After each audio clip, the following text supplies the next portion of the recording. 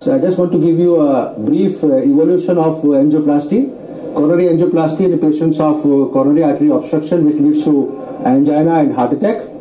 1977 was the first angioplasty performed in Germany by Andreas Grüntzig. And over the period of 15 years, the stent technology was done in 1987 by Dr. Sigwart. And following that, 1993, we saw the drug-eluting stents. The stent is a hollow cylinder which is placed inside the coronary arteries, which helps in reducing the blockages and therefore it relieves angina and also the mortality related to angina and heart attack. At this point of time, the bypass surgery has gone down drastically low and most of the patients are now being treated by coronary angioplasty with drug-eluting stents. Uh, the coronary angioplasty and stent implantation is a non-surgical technique for removing the blockages associated with the coronary artery disease.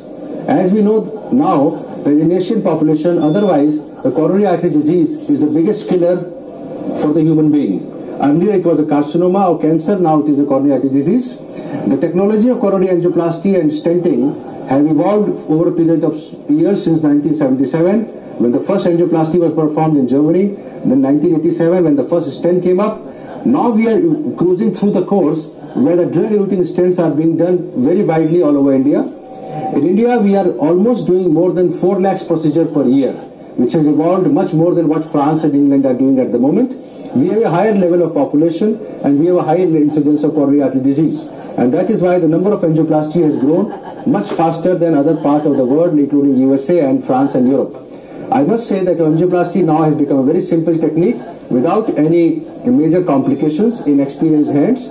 A lot of new cath labs are coming up in various districts of India and we hope that we will be able to treat such patients as early as possible whenever they come to the cath lab. Uh, coronary angioplasty and stenting is a very important technique for relieving the angina associated with the coronary artery disease obstruction. Uh, as, I, as I told you that more than 4 lakhs patients per year are being performed in India.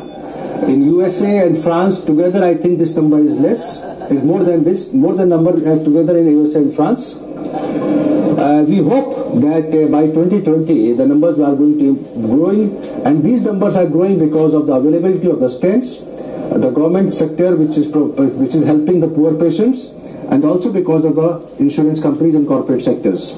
But we are still treating the tip of the iceberg. We have much more number of patients still not being treated because of the cost issues and because the patients are not able to afford it. We hope that when the government reimbursement increases and the corporate sector, uh, corporate insurance increases and everybody gets insured all over India, we hope that we will be able to treat most of the patients of coronary artery disease. And of course, prevention is always a boon.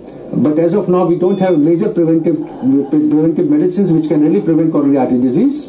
And I will be very happy to say that coronary bypass surgery is going down, which is higher risk. But of course, bypass surgery is still required in few percent percentage of cases where angioplasty and stenting is technically not possible.